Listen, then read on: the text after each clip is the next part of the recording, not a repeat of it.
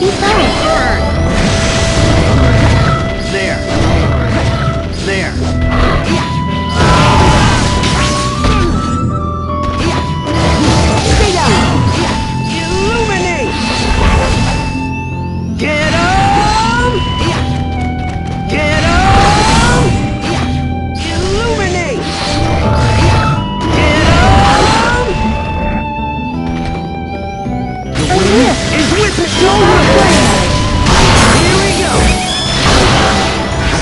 Listen to this.